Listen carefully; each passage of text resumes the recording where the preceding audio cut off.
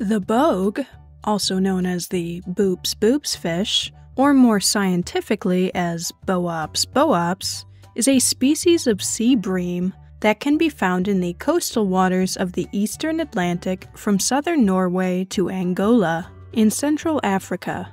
These fish are common throughout the Mediterranean and Black Sea. They are also reported to be present in the western Atlantic Ocean, in the Gulf of Mexico, and the Caribbean Sea.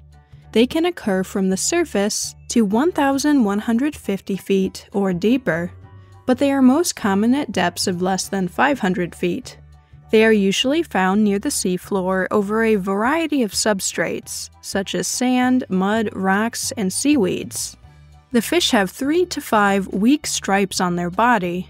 There is a black spot at the pectoral fin base. Bogue move in aggregations, ascending closer to the surface at night.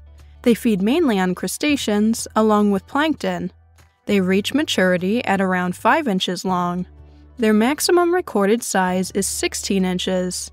They attain their maximum size slowly.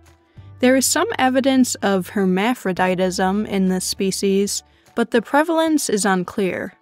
Spawning may take place from January to May, depending on their location.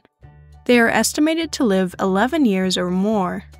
Bogue can be quite abundant, and they are fished in some areas of their range. They are consumed fresh, frozen, dried, or smoked. They may also be used for fish meal, oil, and bait. For more marine facts, click the subscribe button.